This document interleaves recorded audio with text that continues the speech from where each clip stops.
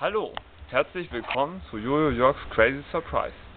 In der dritten Folge bin ich heute wieder einmal auf den Hund gekommen. Denn heute präsentiere ich euch The Accommodating Dog, der entgegenkommende Hund. Und welcher Hund könnte entgegenkommender sein als mein Freund Blackie? Ihr werdet wahrscheinlich denken, mein Hund ist viel entgegenkommender. Das kann auch gut sein, denn mein Freund Blackie ist heute irgendwie etwas kurz angebunden, und zwar an mir.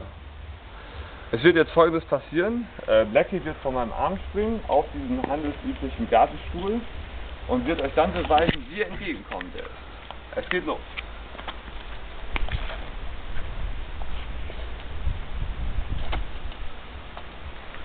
Blackie, du warst wirklich sehr entgegenkommend.